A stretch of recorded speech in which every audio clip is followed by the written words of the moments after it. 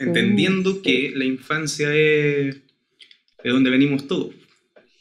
Sí, es la base. Eh, es súper complejo el tema de la infancia, porque de los 0 a los 5 años donde se producen los procesos más importantes de todo el ser humano.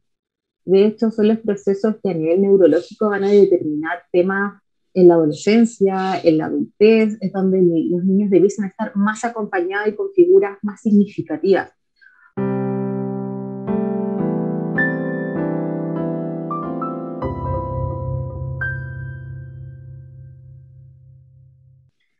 Hola a todo el mundo, bienvenidos a esta nueva instancia de conversación eh, que estamos iniciando. Esta es la primera grabación, primera entrevista que hacemos. Em, y la intención es estar trayendo constantemente personas para hablar de asuntos de la sociedad, asuntos que nos competen a todos, eh, roles que deberíamos tomar, soluciones posibles que podríamos ver, revisar a problemas que enfrentamos todos eh, educación, infancia, ciudadanía, mil, mil, mil cuestiones. Todo va a depender del invitado o invitada que tengamos, así que comencemos. Muchas gracias por estar aquí. Hoy día tenemos a Camila, Camila Cornejo, trabajadora social con enfoque en infancia. Muchas gracias por estar acá. Nos conocemos porque yo realizo clases de guitarra en un programa en el que trabajas. Así que muchas gracias por estar acá. Te dejo, por favor, presentarte. No hay de qué, Felipe, gracias por la invitación a poder hablar de temas contingentes igual, em, que nos afectan a todos en realidad de alguna u otra manera, en alguna dimensión igual nos pasan a llevar o hay algún un, poco de responsabilidad como ciudadanos que debiésemos tener igual. Así que eso. Súper. Cuéntame un poco de ti, ¿Qué haces? Todo, todo lo que pueda. Todo lo que pueda decir en este espacio. es bastante amplio. Bastante, bastante amplio. Bacán. Eh, yo soy Camila Cornejo Espíndola, me desempeño como trabaja, me desempeño a nivel laboral como trabajadora social. Eh, llevo siete años trabajando en infancia vulnerada eh, gravemente vulnerada. De hecho, los contextos en los que he trabajado son de alta complejidad. Eh, tengo un diplomado en evaluación de competencias parentales, un postítulo en apego, parentalidad y desarrollo infantil. Eh, bueno, ese es como el lado más estructurado y desde el currículum, así que piensas formalito. Más académico, claro. más académico. También tengo una serie de cursos también que ver en la académico, no sé, autolesiones, suicidio, eh, consumo de drogas, también tengo cursos pequeños de trauma complejo, eh, pero todo siempre relacionado a la infancia y la adolescencia, como que siempre ha sido mi foco. Eh, a nivel personal, soy mamá de un pequeño de tres años, o sea, de cuatro, la mamá del año. Partimos bacán. La más bacana, sí. Trabaja en infancia. ¿Cuántos tiene tu hijo? No sé. Trabajo con tantas infancias que... y la del mío no me la sé. eh, aparte de eso, me gusta mucho el tema de pintar, es un área que siempre me ha gustado, pero ha estado mucho más contenida como a lo largo de mi vida. Mm, también soy dirigente de acá del condominio, me gusta eh, involucrarme harto en los procesos de los espacios en los cuales me, desenvuelvo.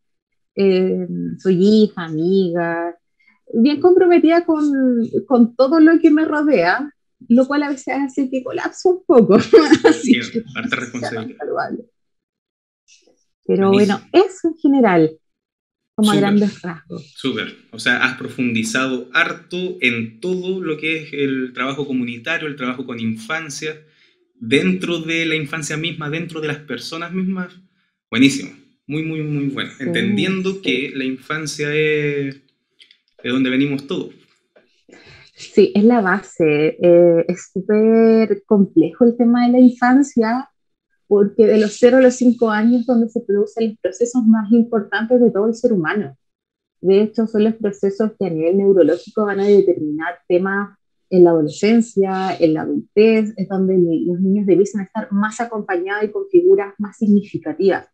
Hoy en día sabemos que en Chile no es tan así la cosa, porque bueno, hay temas ahí de fondo con la sociedad que nos lleva un poco a estar fuera de la casa, fuera de la crianza, y, y se complejiza. Claro. Estamos enfrentando un montón de problemas a nivel de infancia y hay un montón de causas, o sea, no es, no es como... Ojalá poder encontrar una causa, decir, ah, se soluciona esto y estamos listos, pero en realidad... No, es, es, es multidimensional, o sea, hay factores que, que convergen en, en, causa, en, en diferentes causas. Eh, tenemos temas, o sea, como sociedad hoy en día es una sociedad mucho más rápida, es una sociedad neoliberal, una sociedad competitiva, eh, más que colaborativa. Entonces, eh, se ve que el otro siempre es una amenaza. Y desde ahí las personas han volcado como que su felicidad hacia la, la obtención de, de, pertenencias, de objetos, y, y salen de la casa eh, para conseguir esto, para conseguir trabajo. Y lo estoy hablando así como ni siquiera de infancia vulnerable, yo creo que a todo nivel sucede lo mismo eh, de hecho, en infancia vulnerable es mucho más complejo el fenómeno que se da. Y dejamos a nuestros hijos atrás, tenemos a padres sumamente cansados, a cuidadores que están exhaustos al llegar a su casa, porque obviamente nadie te da, eh, no te da, no te da el tema de criar, de trabajar y de hacerlas todas las miles y estar profundamente feliz porque no se puede, porque eh, sabes que el otro día te vas a tener que ir a trabajar, que tenés una serie de deudas para atrás, que tenés que cubrir y el niño te demanda atención. Entonces, ¿qué es lo que pasa? Pucha, ya prendamos la tele, ya listo, pucha, porque te quedas calladito un rato. Eh, y los niños empiezan como a, empezamos a desconectarnos como familia. Yo creo que, que eso ha sido bastante eh, bastante potente y lo digo también porque es algo que me, me ha hecho a mí ruido últimamente, porque me he visto en esta posición de quién soy yo, así como, ¿por qué mi vida es como un, un círculo que está dando siempre lo mismo? Así como que mi vida es, como que fuera un reloj así. Y aceptar hago esto, y aceptar ahora esto, y esto, y esto, y esto, y esto. Y como que al otro día me levanto y hago lo mismo. Y es como, y ese es el sentido de que, que, se le está dando. Eh, y normalizado, súper normalizado por parte de todos. De todos. Y es como así la, la, sociedad tiene que funcionar y eso es lo que hay. Entonces, cuando tú empiezas a tener como este sentimiento, tú igual te cuestiones así como, pucha, quizás seré yo el problema, quizás, porque tú ves que los otros están súper conformes en su posición o, simulan estar conformes. Es súper extraño además porque está ese mundo de las apariencias, como de... Sí. como soy mamá, puedo con todo, pero... Y te hacen ver a mamás sumamente felices, así como que están bacanas, así, no, yo trabajo y con mi hijo y me las puedo. Y es como, amiga, no se puede. No se puede, así como quizás si yo trabajara por hobby y por placer, más que por una necesidad, sería bacana, así como, sí, yo andaría contento todo el día. Pero cuando el trabajo se transforma en una necesidad para generar recursos para subsistir, y ahí la cosa cambia. Porque tu compromiso tiene que ser alto, porque estás pendiente todo el día de que no te vayan a echar, porque si te echan, ¿dónde te vaya a ir? ¿Y qué va a ser de ti, del colegio de tu hijo, de, de todo? Así como es súper complejo el, el estar en eso. Súper, súper, buenísimo.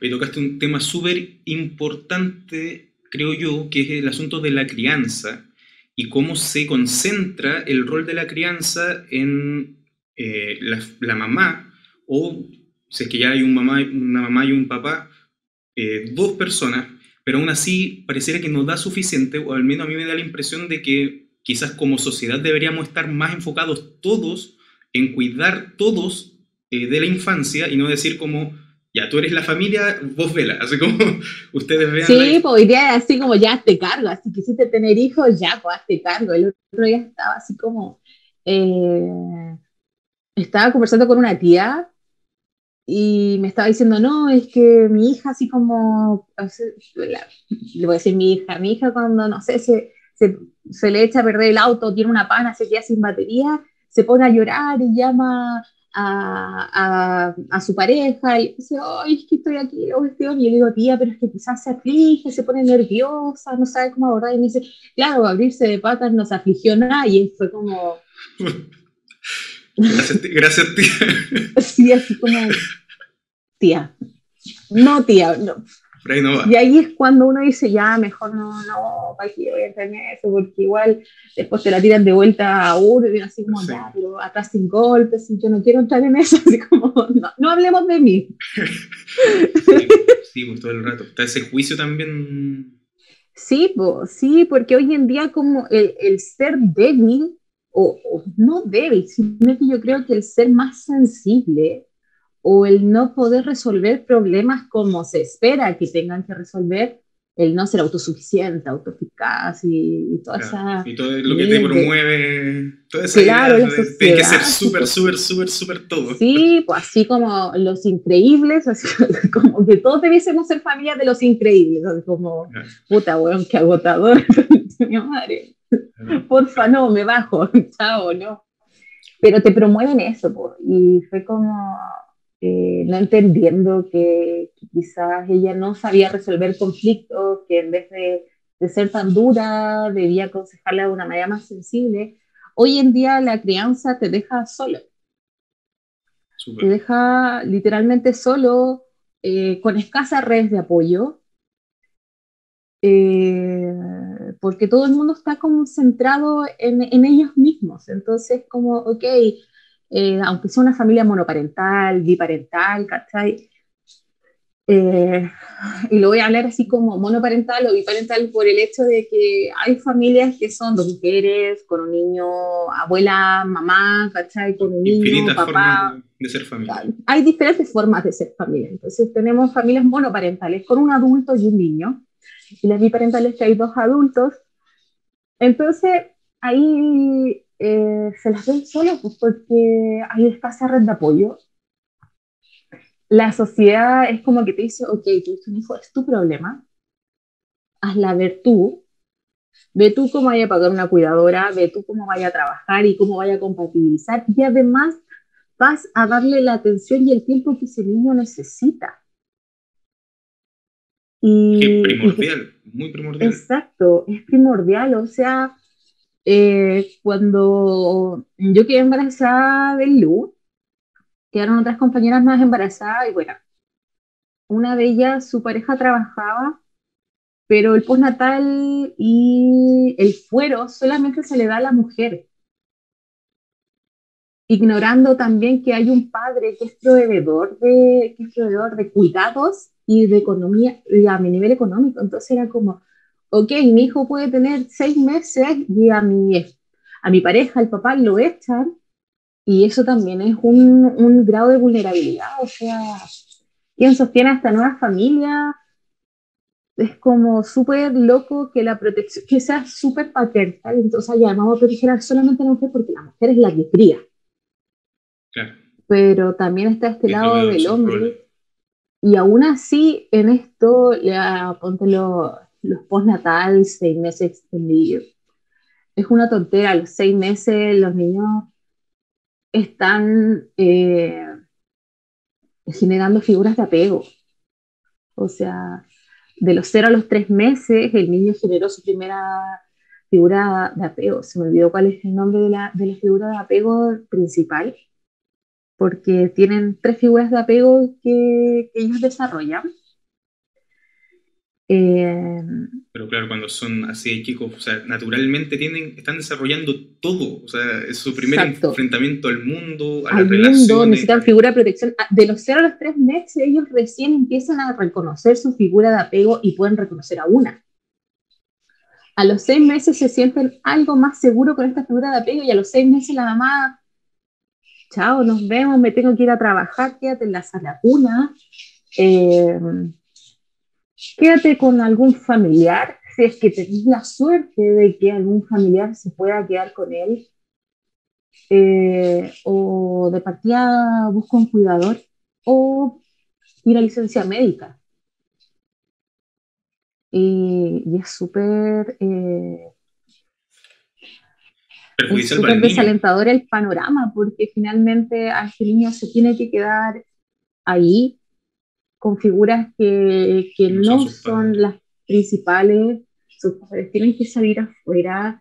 Entonces es, es complejo el escenario porque todavía tenemos un, cerebro a nivel tenemos un cerebro a nivel neuronal inmaduro, o sea, que no, no está haciendo todas sus conexiones principales, que de hecho, lo, si, no, si te pilláis así como ya, lo más bacán que te voy a pillar es que hay un cuidador que, que no lo deje llorar, o en una sala cuna que no lo dejen llorar, pero al momento que lo dejan llorar, el cuerpo libera cortisol, y que es la hormona del estrés, entonces libera cortisol, libera, libera, libera, y ya después se transforma en hipercortolicismo, que es como cuando ya el la hormona se liberó y está en todo tu cuerpo y eso empieza a generar daños a nivel cerebral. Entonces tenemos a chicos que, que lamentablemente están así eh, desde pequeños. Y no sé, a ver, a nivel, cuando los chicos, no sé, de familias ya más complejas, el escenario se pone peor aún. Infinitamente eh, peor, o sea, es un espectro Sí, porque yo te estoy hablando así como de la realidad, así como de la realidad mía. De cualquier persona se puede sentir identificada, casi cualquier familia en el país, y no sé, a nivel latinoamericano se podría sentir identificado con lo que estáis diciendo. Pero aparte, ocurre. Existe otra realidad que se pone aún peor, así como que, que, es como cuando, no sé, a mí me ha pasado que yo a veces hablo con amigos y no, y, y no, igual es como compleja ya, pero. Y les cuento así como una cosa que pasó, así pequeña. Y es como, oye, ¿cómo trabajáis con eso? ¿Cómo no, no, no te da pena? ¿Cómo? Es como, puta, es que sabéis que, o, a veces hacen comentarios súper así como desde su realidad, así como se ponen sus letras de realidad, esta es la única realidad que hay y es la que conozco. Y hablo desde esta realidad porque todos son así. todo lo evalúo desde mi prisma. Mi, desde mi, prisma de, de, los ciertos privilegios que se tienen y es como, puta, no, conmigo ya, pues, chachazo para ti, así como, no, bueno, date cuenta que fuera de la punta de tu nariz, o anda a darte una vuelta más allá, ¿cachai? Y vaya a darte cuenta que la cosa es, del terror y se pone del terror y, y, te vaya a empezar a dar cuenta por qué, hay tantos niños eh, maltratados, eh, por qué hay tantos chicos en, en, responsabilidad penal juvenil, casi solo de RPA, por qué hay tantos chicos delinquiendo afuera, porque ahí hay un efecto que se va generando que, que termina en eso, que, que termina eh, en estas realidades como súper complejas que después salen en las noticias y es como, ¡oh! mira, el cabro chico le apuntó con una pistola, hizo eso, tenía 15 años. ¿Dónde estaba la mamá? ¿Dónde estaba el Senado? ¿Dónde está? Y era como, señora, nosotros como, nosotros como sociedad también tenemos cierto grado de responsabilidad en lo que está pasando. O sea, eh, tenemos familias que están, que son, como yo te decía la otra vez, familias multipesadas, multiproblemáticas, yo prefiero decir como multiestresadas, porque tienen diferentes eh, factores de estrés que los hacen llegar a ciertos puntos. Eh, las familias eh, multiestresadas por lo general están caracterizadas por familias que tienen consumo de drogas, que hay episodios de violencia intrafamiliar, inestabilidad a nivel económico, escasas o malas redes de apoyo, me falta otra dimensión más que no me logro abordar. Pero por lo general son esos puntos que abordan estas familias. Entonces tenemos a, este, a estos adultos que están a cargo de las familias. Puede ser biparental, monoparental, pero tenemos que... de, que de, que tienen daño importante, tienen daño importante. Sí, pues, imagínate, lo más probable es que esta familia haya provenido de otra familia que tenía las mismas, reunía las mismas condiciones. Y que los antepasados de esa familia también provenían como de lo mismo, quizás no reunían todos, pero iban como lo mismo, existen episodios de violencia, escasa problematización, poco nivel afectivo. Normalizar todo eso. A mí me normalizar y, todo eso. Y salí bien. a mí me pegaban cuando chico y pues. salí, ok. Y salí súper bien. Pero no tengo tolerancia a la frustración. y cuando alguien me rebate algo, yo me enojo mucho. Me pongo agresivo, violento, y, claro. ¿Cachai? Entonces ahí se viene a ver. Eh, o no tengo manejo, no sé, no, no, tengo manejo de la impulsividad. Ese también es otro rasgo de, de personas que han sido violentadas. Entonces tenemos estos patrones transgeneracionales de habla. Familias que ya normalizaron ciertas conductas. Cuando a mí me tocó trabajar en hogar, era súper común que había niñas que habían sido violadas, que sus mamás habían sido violadas, que sus abuelas habían sido violadas, y que se iba repitiendo a nivel de generaciones. Era algo súper eh, cuático, por decirlo, pensar en eso. Y tú dices, pero ¿por qué? Porque había ya una normalización del tema del cuerpo Y era tan la normalización que era como, ya, pero si también me violaron. Y, y era como, como, como que se terminan poniendo de tal manera insensibles ante, ante la dolencia del otro, porque es como, pero si eso no, no, tiene nada de malo, casi como... No tiene nada del otro mundo. Es... Claro, es algo que pasa.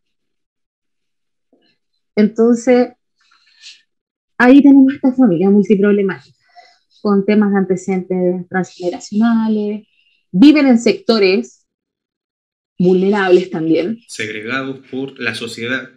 Nosotros. Exacto la sociedad los aparta porque no son parte de nosotros. Una vez me acuerdo que un profe en la carrera nos dijo así como que una vez eh, habían hecho como un, tipo de, de, encuesta o entrevista y le preguntaban a una familia qué era lo que los hacía sentir pobres. Ahí, así como que eran pobres. Y ellos habían respondido que era como cómo lo miraban las otras personas ni siquiera como lo que tenían o lo que no tenían, sino que era cómo los otros los miraban o se relacionaban con ellos.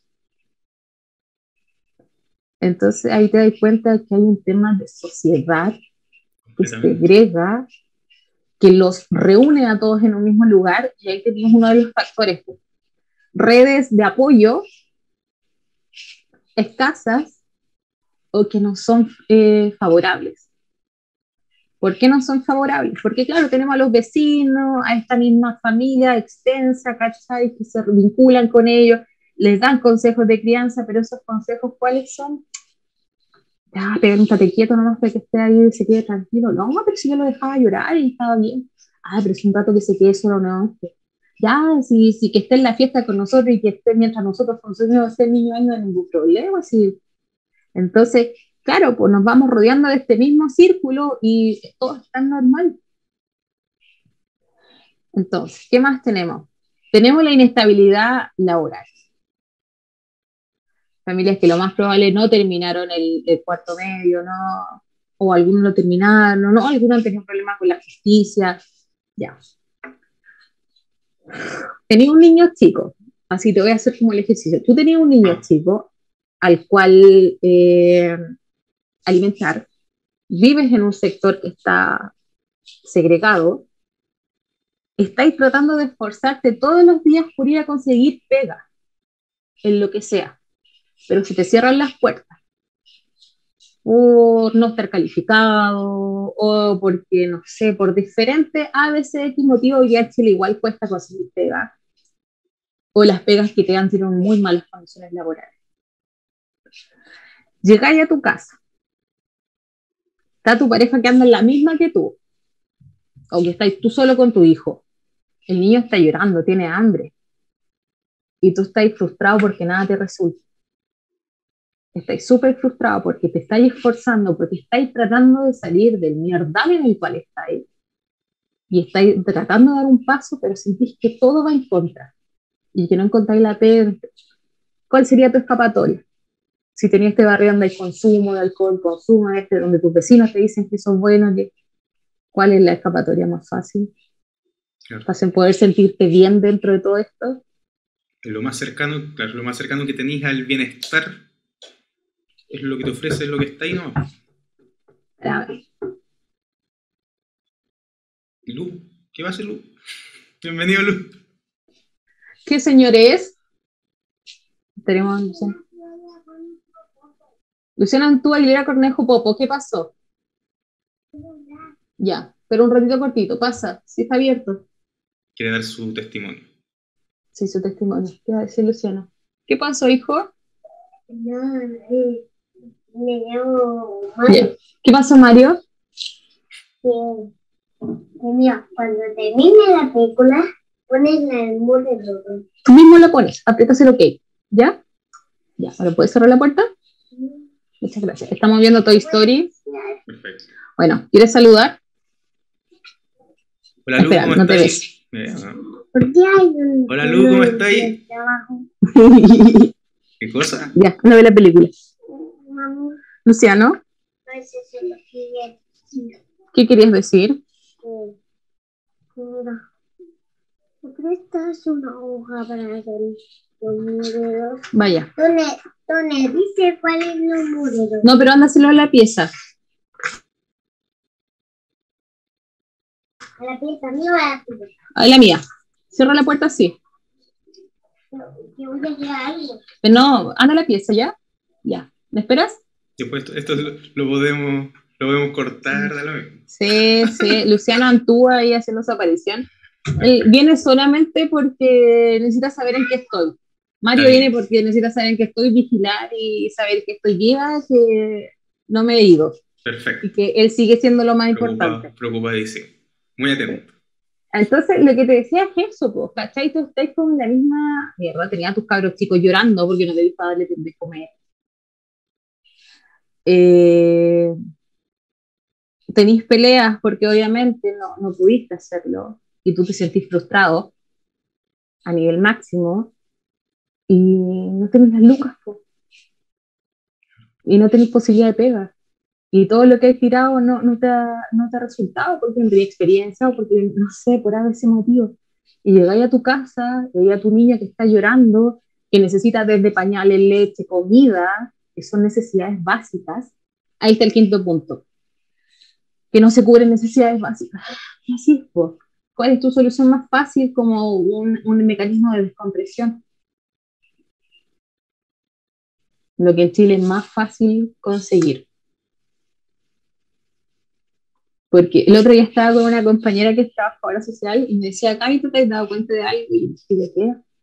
Me dice, en Chile Hoy en día todo hay inflación y todo está subiendo. Precio de alimentos, precio de. Dice, pero te has dado cuenta que el copete es el único, la única hueá que baja de precio.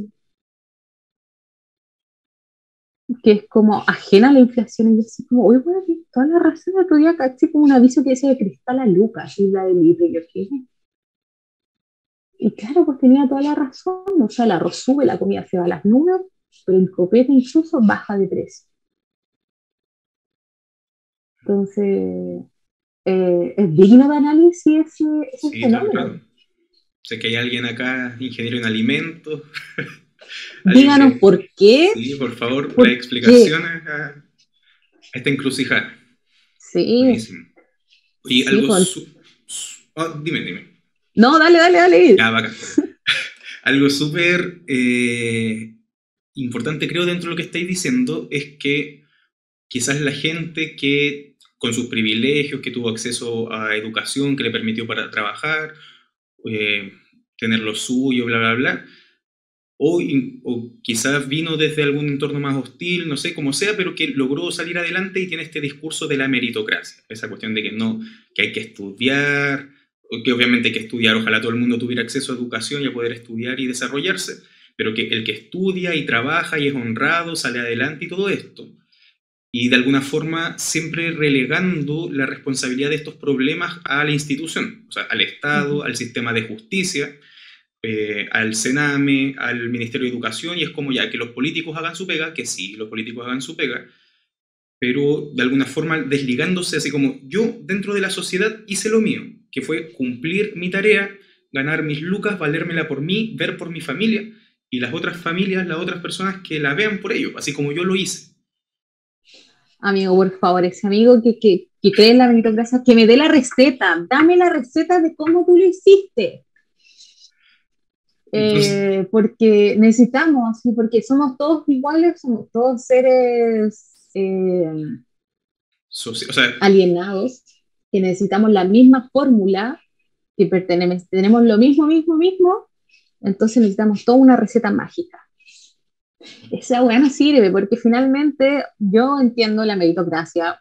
Eh, en cierta forma, yo soy como también parte de, esa meritocracia. Yo no vengo de una familia así como acomodada, ni que sus papás tuvieron casa, fui como de, de las, ¿cuánto se llama? De estas familias que vivieron de allegado, que puta, pasé un colegio particular a otro colegio porque después la crisis del 98 que hubo, eh, a mi papá le fue como el loli, así literalmente como el loli.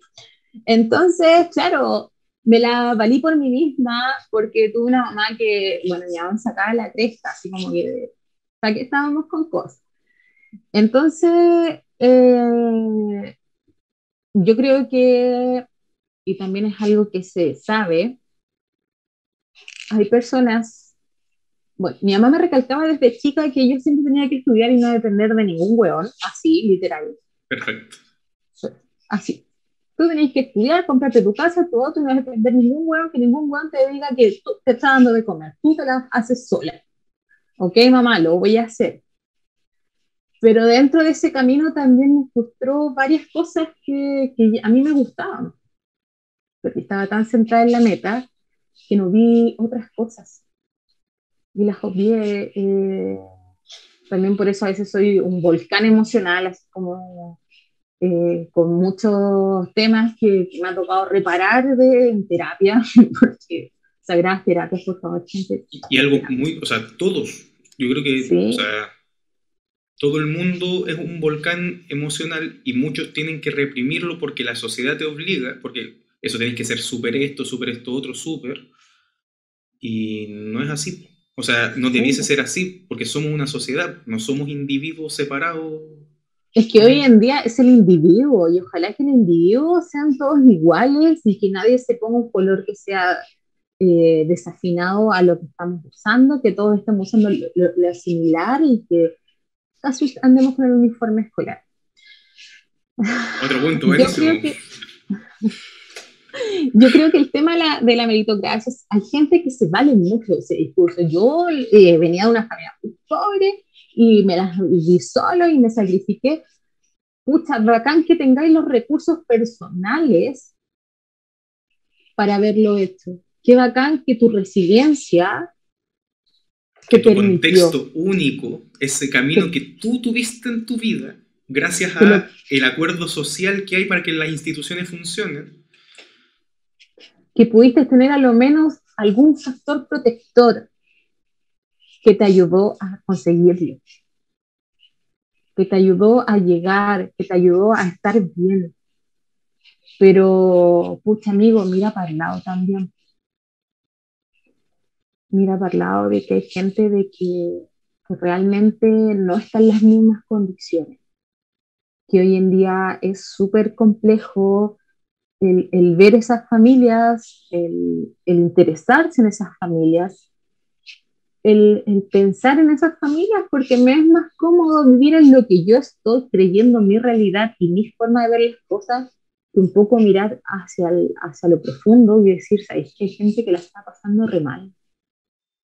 Hay gente que realmente eh, no, no, no le va bien, que tiene varios problemas y que a veces esto, que no se dan cuenta que hay patrones, patrones transgeneracionales que afectan, ¿cachai? Que normalizan ciertas cosas, que lo único que han salido durante su vida porque, porque así les ha tocado es el tema de delinquir, ¿cachai? De hacerse el más choro dentro de la población, porque vivís en una población de riesgo, en donde el que es más choro gana, y se gana el respeto.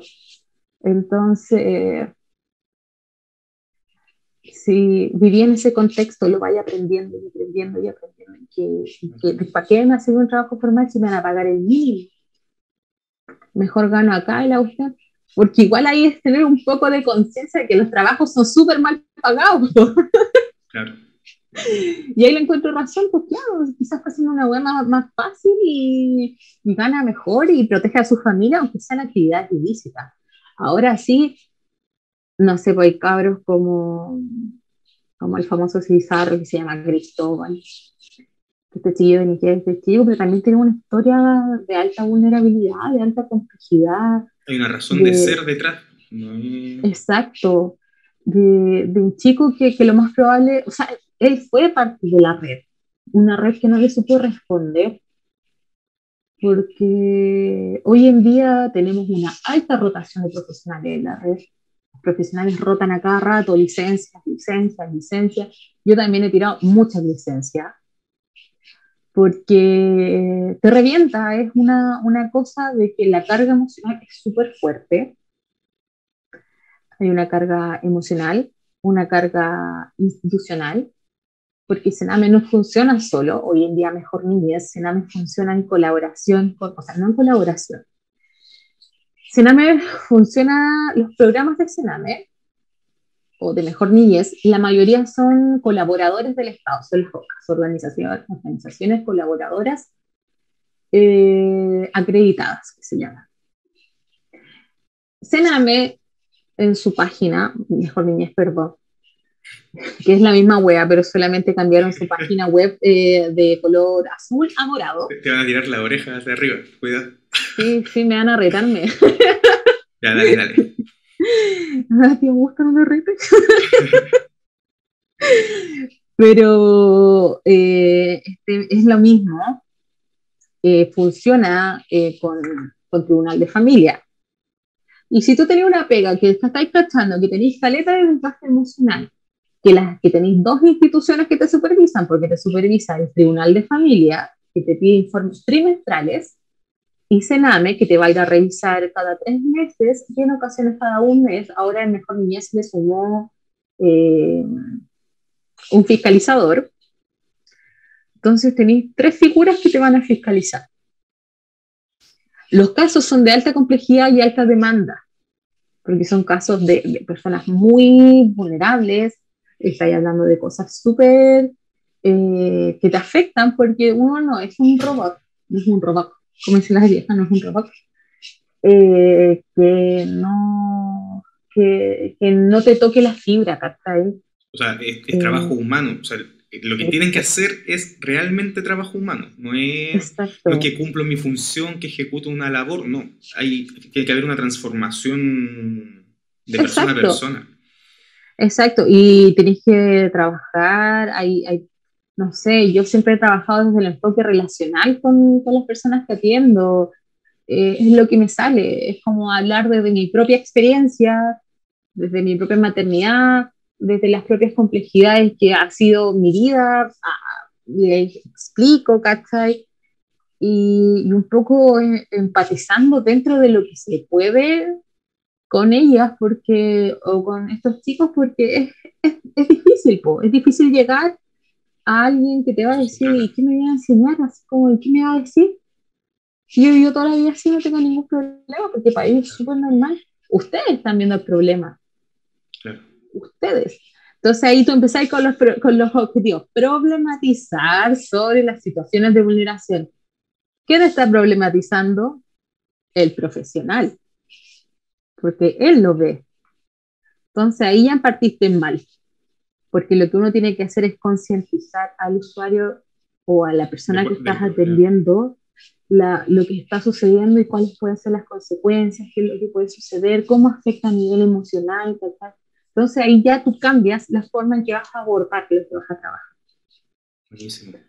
Oye, volviendo al punto como social, el asunto de nosotros como sociedad, ya sé, ahí tenemos una gran visión, po. esa es una gran visión. ¿Qué, puede hacer la sociedad? ¿Qué, ¿Qué, es lo que yo creo que, eso está como... Yo te dije que era dispersa. No, estamos bien, estamos acá. Mira, mira, mira, mira. Lo que, lo que quiero plantear es que el, es un problema como sociedad que tenemos. O sea, tenemos niños que, claro, no tienen acceso a mil cosas que nosotros tenemos muy normalizadas dentro de nuestra vida, como una familia que te quiere, te cuida, no te maltrata o no te maltrata mucho o lo hace dentro de los márgenes de como aceptado socialmente. Tenemos acceso a educación, nosotros pudimos estudiar, pudimos desarrollar una carrera, podemos eh, tenemos herramientas para hablar con, no sé, entre nosotros, hablar de estas cosas, cuestionarnos un montón de cuestiones. Y de alguna forma la sociedad como que como que tiene a toda esta gente privilegiada, mientras más privilegiado, mejor.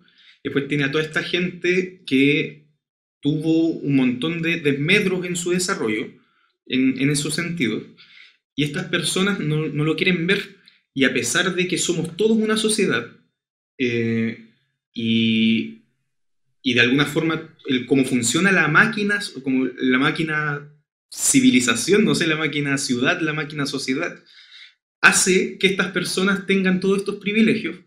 Ellos no, no se dan cuenta de que el abandono que tienen, que es o sea, es un, es un, una gradiente, creo yo, el abandono se les devuelve porque después ellos mismos están diciendo que no se puede salir por la delincuencia, que, que, no quiero que mi hijo se junte con no sé qué niño, y que no sé qué cuestión, y al final se siguen encerrando, encerrando, encerrando, creyendo que esa es la sociedad que funciona bien, cuando todo es una sociedad que funciona mal, y está así desbalanceada para que ellos estén arriba. Como que eso es un poco el... Ya. Yo creo que hoy en día es algo también que he en el colegio de Luciano falta mucha educación emocional. Falta mucha educación emocional. Vivimos muy a la defensiva, pensando que el otro es un enemigo, y es el enemigo que nos va a hacer daño, que nos va a quitar lo que tenemos, que algo nos va a hacer.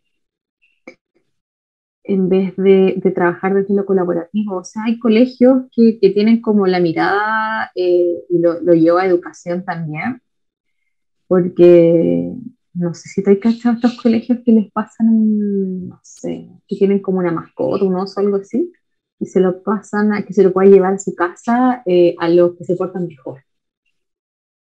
Entonces, desde ahí, imagínate, a nivel micro, empezamos ya a, los buenos y los malos. El sistema educativo es así completamente, hay que replantear completamente eso. Es que eso, hay un sistema educativo que no está funcionando. Desde ahí partimos las bases, o sea, tenemos sistemas educativos que se pasan en la competencia entre niños en vez de enseñarles a colaborar, a que el otro siente, a que el otro también es un ser válido. A mí la educadora del LU, y ahora voy a hacer así como... Vamos, vamos, vamos, con todo. Con una rota así en los dientes. la educadora del LU, el otro día estábamos rompiendo apoderado y me dice así como, bueno, que estaban trabajando el tema de convivencia escolar y bla, bla, bla, porque hay muchos temas de convivencia escolar, mucha agresividad entre los niños, incluso un pre-kinder, a Luciano le metieron el león en el ojo, le pegaron. Eh, yo reclamé por esas situaciones. Entonces, ella pidió que nosotros viéramos ejemplos de cómo le enseñábamos a nuestros hijos a, a ser respetuosos con el otro. Y yo le digo a la profesora, bueno, levanto la mano de las primeras, así como por Zoom, así, pongo levantar la mano. Zoom, zumbió, zumbió. Claro, zumbió, yo, yo, yo, yo. En realidad estaba solamente apurada porque eran cinco para las ocho y el día lunes salía Había que darle cierre rápido al tema, por favor. Sí, pues así como a las ocho salgo de aquí, a las ocho me voy del trabajo y no puedo seguir conectado. Porque estaban todos ya así como con las zapatillas de clavo, así como todos saliendo. Y yo así como, profesora. ya, la cosa es que me digo así como, mira, lo que yo practico es explicarle al Lu.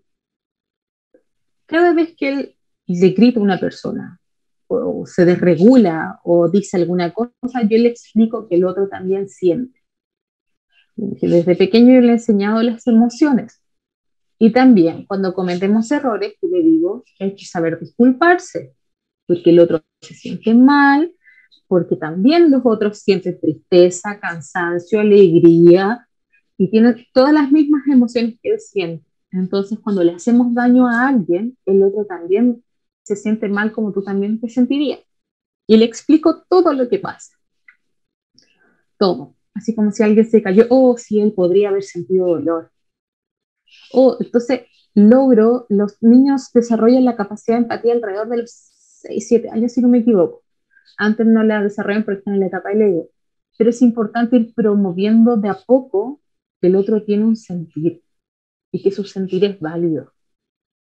No podemos decir que solamente los buenos sienten y los malos son aquellos que, que están en contra y que quieren ser así porque son malos, porque nacieron malos, porque casi llegamos a la teoría de que acá en el lóbulo frontal hay que hacer como esa, esa weá, la lobotomía para sacar el, la sección mala.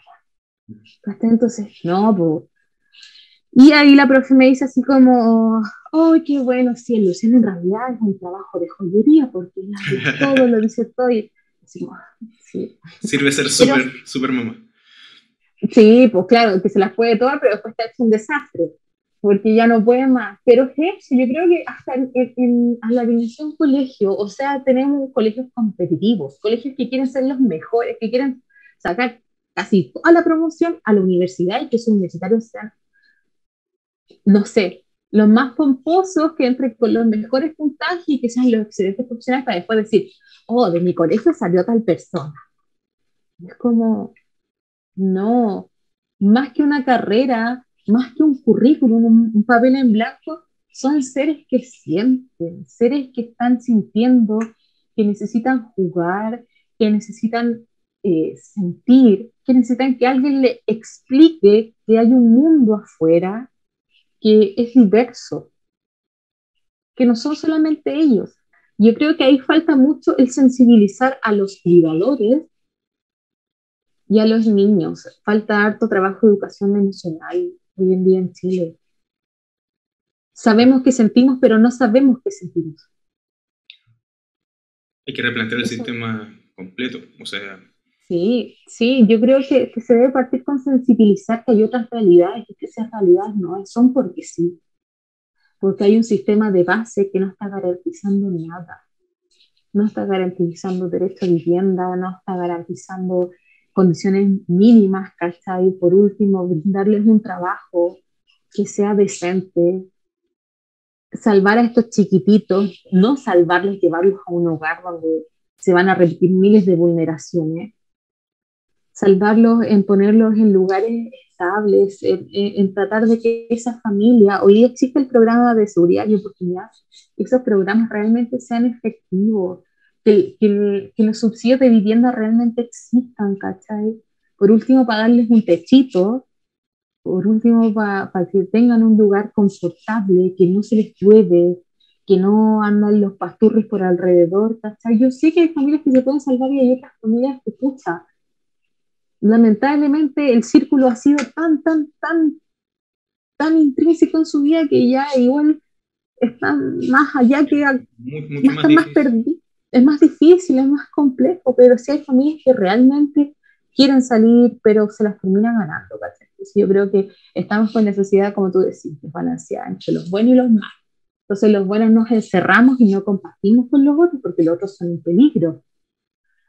Y no es tan así, pues yo me he ido a meter a poblaciones re peligrosas, me han dicho, oye, pero no sé, mi primera visita domiciliaria en el hogar, me mandaron sola, me mandaron a, a esta población en Playa Ancha, Costa Brava, una cuestión así, que es como unos edificios que están en los ventisqueros, así como para abajo.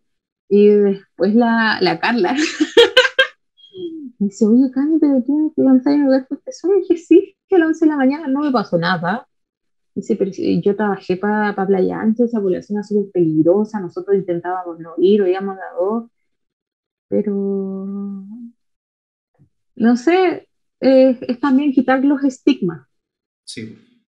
Es quitar un poco los estigmas de, la, de, los sectores, de que me va a pasar algo, de, de, andar con la mirada de que me va a pasar algo, insertar más programas en esas comunidades que también están Igual ahí hay otro tema que es con, con, el tema del narcotráfico, que estas poblaciones iguales han sido como invadidas por los narcos, que son los que manejan estas poblaciones. Igual está complejo, pero hay parte que es como, que le tienen miedo a los narcos y hay parte que está con los narcos. Entonces, como que esas familias que están con los narcos viven casi como, no sé, por, uno ha visto en las noticias en las poblaciones que se agarran a balazo y hasta han muerto chiquillos que no han tenido nada que ver con el conflicto y es puta. ¿Qué pasa con el Estado que no interviene ahí? Eh, ¿Cuál crees tú en ese sentido que debería ser em, la prioridad del Estado? O sea, pensando en cortar el problema de raíz de alguna forma, como intentar que... Como lo estoy viendo, es que tenemos este tremendo problema de segregación, de poco acceso a educación, falta de educación emocional, eh, y después, y de ahí empiezan a surgir un montón de otros problemas, ¿sí? ¿Cuál sería como para cortar de raíz? Eh, o sea, no sé si cortar es la palabra, ah, pensando también en que cualquier ¿Cómo cambio solucionar, es muy gradual y siempre como desde lo más fácil entrar desde... Claro, a ver, como entrar como de lo más fácil, o sea, ¿cómo? no, no, hay nada fácil. ¿Qué sería lo fácil? Porque el Estado hace muchas cosas, o sea, el Estado ya tiene el sistema educativo, eh, y ofrece un sistema educativo público que funciona para algunos, para otros no funciona y otros ni siquiera tienen acceso porque su situación de vulnerabilidad es tan grande que aunque estén dentro del sistema educativo no... Desertan. Claro. O, de alguna forma terminan siendo vulnerados de otra forma y terminan, por ejemplo, en instituciones como eh, Sename. Que claro que es otra cosa, otro rol que desempeña el Estado de mejor o menor manera, con tercerizados o no, pero es, es como otro frente que enfrenta.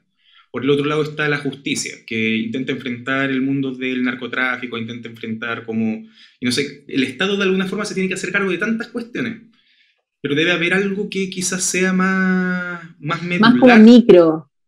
Sí. Yo creo que eh, nosotros como sociedad, muchos trabajamos en áreas de, ciencias sociales, eh, debiésemos, no sé, una vez un profe en la U dijo que, o sea, me acuerdo que le hablaba de una práctica en gendarmería y que se hablaba como de, de cuando se hacían informes se hablaba del reo.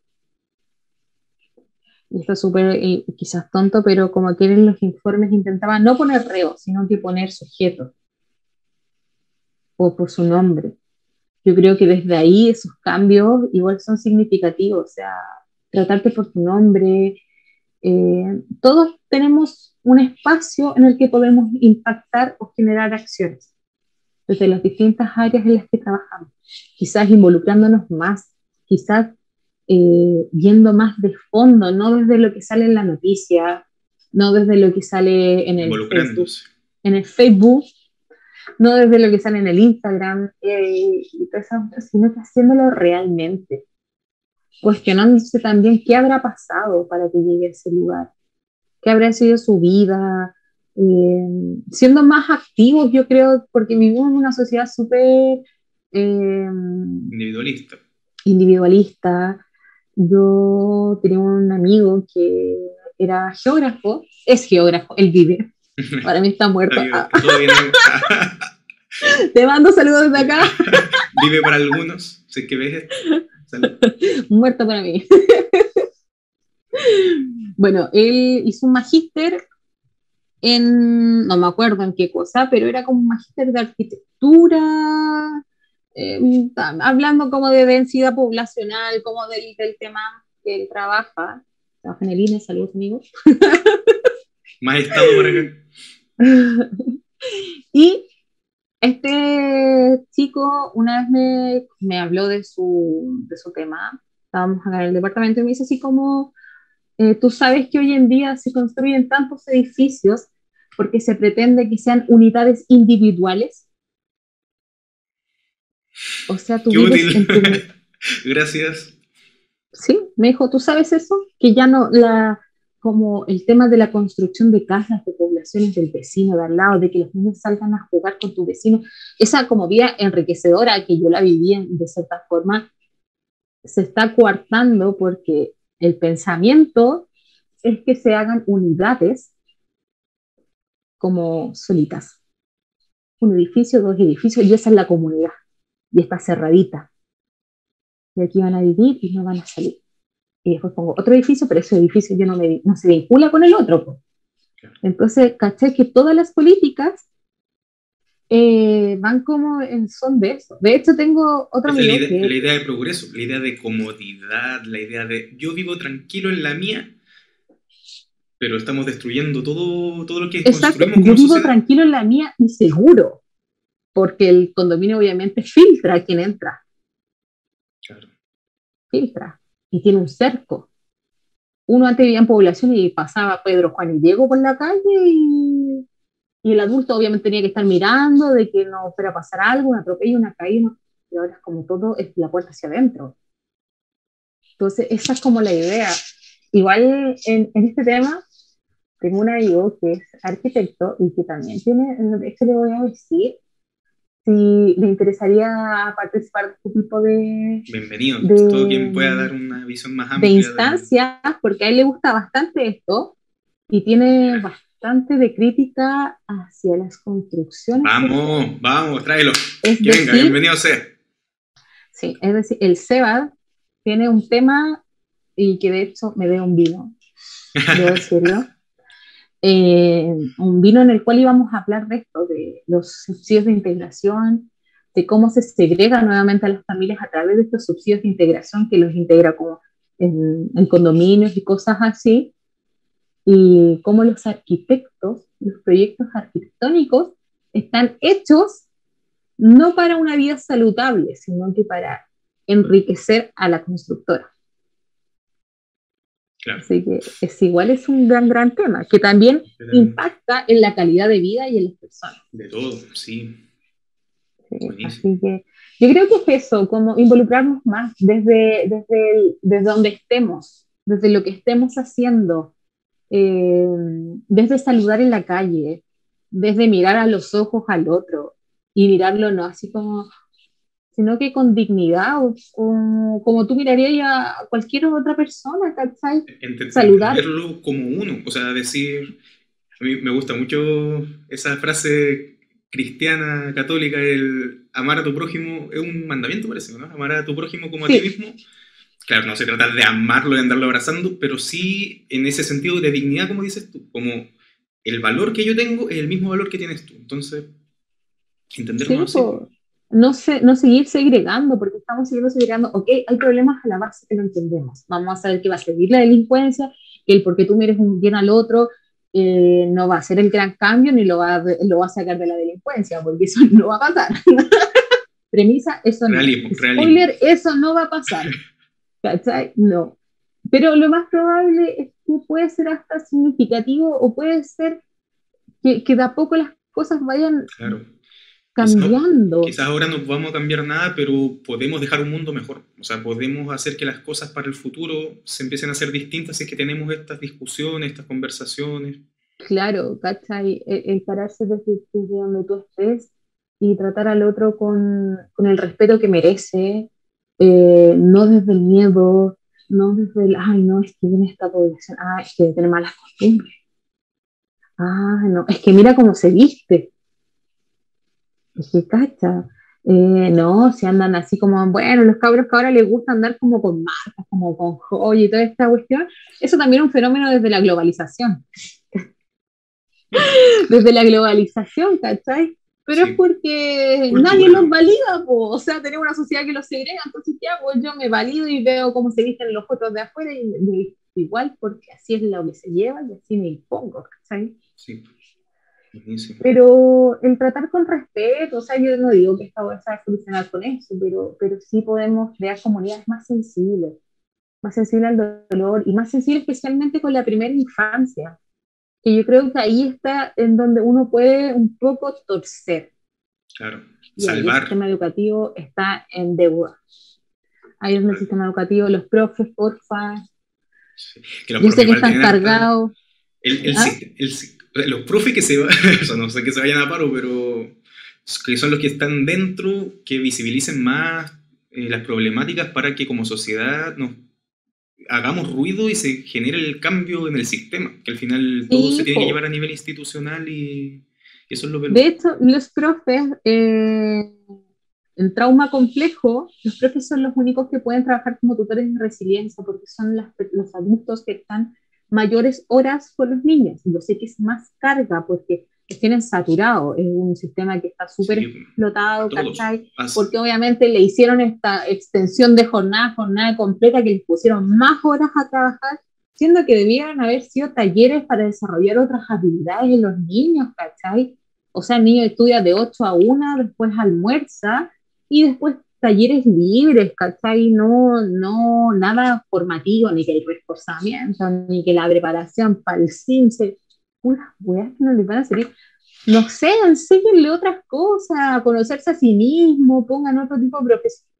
Y a los profes deslíguenle un poco esa carga y así ellos pueden eh, tener más disposición emocional a, a los niños. Porque si tiene un niño de 7 años que, ¿cachai? que está como, como ahí, o a los 12 que están como en el limbo entre, entre que si entran o no la delincuencia, aunque sí. Entonces ahí podéis generar un impacto y un cambio en él. Total, completo. Las instituciones, como que las instituciones estatal, ya pensando en el Estado, que es el que se tiene que hacer cargo, eh, ligadas a la infancia, no están pensando mucho ni en el bienestar de la infancia, ni en el bienestar de las personas que tienen que estar bien para trabajar con la infancia. ¿Y eso cómo se llama? Adulce- adultocentrismo. Uf. Porque vivimos en una sociedad adultocentrista, Todo para nosotros, complejo. muy complejo. Pensamos en los adultos y no en los niños. Extendimos la jornada porque había muchos adultos trabajando, entonces ¿quién se hacía cargo de los niños? Extendimos la jornada. Y aparte para asegurar el almuerzo, porque hay muchas familias que en realidad a veces no tienen ni siquiera para la comida, entonces les se la desayuno y almuerzo a los niños. Eh, pero todo está hecho centrado en el adulto. Todo funciona centrado en el adulto y no centrado en los niños, que es, es la, que era como el promedio de siempre. Los de los cinco años pasan procesos a nivel neurológico importantes. En que situaciones de trauma se pueden transformar en situaciones de trauma complejo porque si no tenía un adulto disponible que te contenga, porque ya, si tú tuviste un accidente, ¿cuál es la primera persona que tú llamarías? Eh, mi mamá, Ya, esa es tu persona, tu, tu figura de apego, tu figura que te contiene, la, la figura principal. Si no está, tío. y no hay nadie, si no hay no hay nadie, nadie que, que, que te, te diga así como ya, tranquilo, si esto va a pasar, si va a estar bien, y que resignifique o te ayude a contener esa situación. Se vuelve un trauma complejo. O si esa misma persona que tú, no sé, pues tuviste un accidente y esa misma persona que es tu figura de apego, ay, no sé, me caí, me rompí la rodilla, mire, se me rompió el pantalón, mira, cabro, weón, te, pa, Claro. no tengo ni para comprar y te rompí el pantalón, te da el gusto y es como, la persona que me protege también me golpea. No sé qué, qué pasa conmigo. Entonces ahí generamos trauma complejo. Las figuras de, de protección y de contención no están disponibles. Es por el tema multiexpresado, ya hablamos. Eso es multidimensional. Demasiado. Ay, bueno, Cami, podríamos hablar mil horas sobre todo esto, pero creo que Sí. tocamos varios, varios, varios, varios temitas. Y no sé si Sí. quieres cerrar con algo, lo que tú quieras. Eh, no sé, yo creo que, que solamente con el, el tema de, de ser más sensibles. De, bueno, en todas estas series de frases motivacionales que están en el Instagram, que no las ¿no? Ah, sí, me gusta, ¿no? Las comparto, me río. Me burlo. Mal, burlo. como Bajo Sí. el, el, el nivel de respeto. Sí, así, compartir, compartir. Cacha, Carla. Buenísimo. Pero hay, hay algunas que me encuentro mucho sentido, así como, como ser sensible porque no sabes por lo que está pasando el otro. Empatía total. Sí, yo creo que falta mucha empatía con, con los otros, estamos muy acostumbrados a reclamar mucho, mucho, mucho, mucho, mucho, pero no reconocer eh, que también hay cosas positivas. Eh, no validarnos por lo positivo, o sea, estamos acostumbrados que siempre estamos tratando de, de, de que lo malo, lo negativo de nosotros, eh, hacerlo bueno, hacerlo bueno, así porque estamos sobreexigidos. Viene mi patrón ya que me dice que hay que cortar. Se acabó, dice, no, no. Sí. Ya. Ah, ya. Ya, Camila, espérame, Camila. Eh, pero eso, ser más sensible, ser más empático, involucrarse con los otros. Eh, de actuar desde, desde el corazón, yo creo, nos falta mucho. Tenemos un, un escudo gigante que nos bloquea de todo. Así como corazón de piedra, porque nadie me puede tocar y nadie me va a hacer daño. Pero a veces se pasa mal, pero hay que volver a reencantarse con las cosas buscarle el sentido. Súper. Ahí. Luciano otra vez. Ya, Cami. Mario, ven, ¿te quieres despedir del Felipe? Fíjate, fíjate. Luo, Mario, ¿cómo estás? Hoy día viene como Mario. Ya. No te veo, El Lu. Felipe. Ah, Mario. Mario, ahí te está hablando. It's a me. It's a me. Que, ¿Cómo estás? que yo voy a estar ahí en tu casa. ¿Va a estar en mi Ah, casa? ¿se ¿Cuándo va a estar en mi casa? Oye, me saqué la, can- saqué la canción que... La de Chancho en Piedra. La de... Mi mejor momento. La saqué. Ya pone esa. Ah, pone esa ya. Después Ya. Luciano lo va a poner. Ya. Pone si tú deseas. Pone. ¿Qué cosa? Ya, Lu. Ya. que me voy a pedir que Gra- te que irse a dormir. Nos vemos, Muchos Lu. besitos. Muchos la besitos. te mando muchos besitos. Muchos besitos para ti. Muchos besitos para ti también. Ya, muchos besitos para ti también. Adiós, Felipe. Adiós, Felipe. Te doy un murero. Ah, Muchas gracias. Bueno, muchas gracias, Cami. Ojalá tenerte acá pronto de nuevo. Bueno, cuando surja otra instancia. Voy a hablar ahí con mi amigo. Felipe, murero. A ver si me pesca. Ya. Ya. Ya, dale. estén bien. Ya, chao, Felipe. Cuídate. Chao, Felipe. Chao. Mua.